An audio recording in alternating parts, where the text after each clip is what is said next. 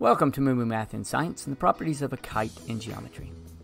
A kite has four sides, therefore it is a quadrilateral. One of the first things you may notice is that there are two pairs of different length sides.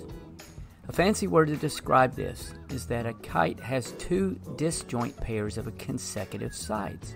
Disjoint pairs means that one side can't be used in both pairs. The sides of each pair are congruent. Sides A and B are congruent, and sides C and D are congruent. The angles that are opposite each other and in between the two different length sides are also congruent.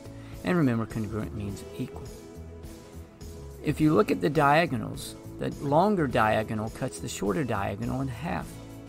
The diagonals of a kite are perpendicular to one another, which results in the diagonal creating right angles.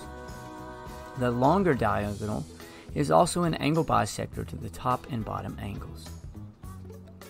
The formula for finding the perimeter is side A plus B plus C plus D. And a formula for finding the area is you can take 1 half diagonal 1 times diagonal 2.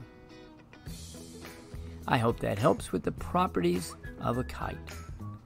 Thanks for watching, and Moo Math uploads a new math and science video every day. Please subscribe and share.